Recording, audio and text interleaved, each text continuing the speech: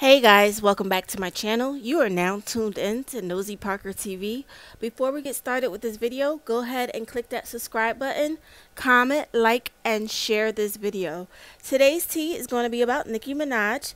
So Nicki posted a video last night on her social media where she was opening up a present from her new boyfriend.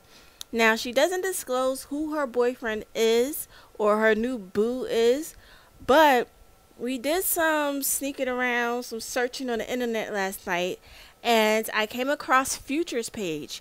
And Future had the same set of gifts that Nicki Minaj received and was opening up in her video.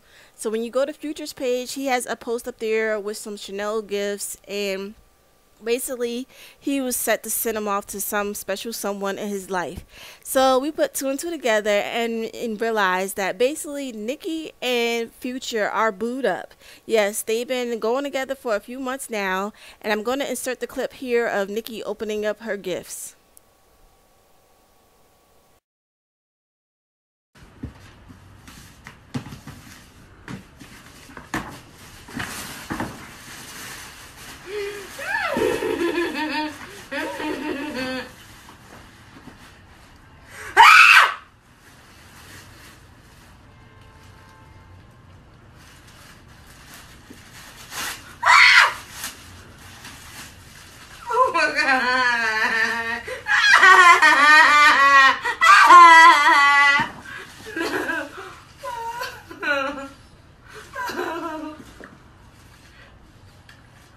Thank you.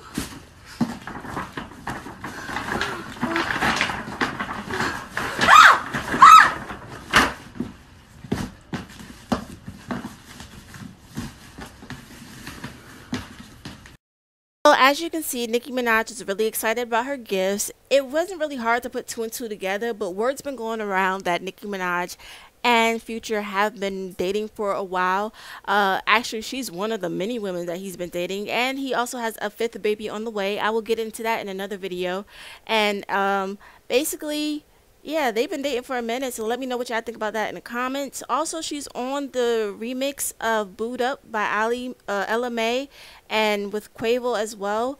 But I peeped some of the comments on her Instagram feed, and people were not feeling her part of the remix.